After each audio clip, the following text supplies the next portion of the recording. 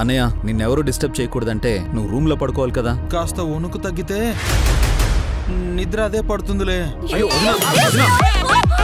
మాయ చెయ్యాలని చూసిన గంటలమ్మను ఆటాడుకున్న నయని హాసిని. వల్లభనయ్య అన్నయ్య హలో. నేను ఇక్కడుంటే అక్కడే వరకు తెలుస్తున్నారు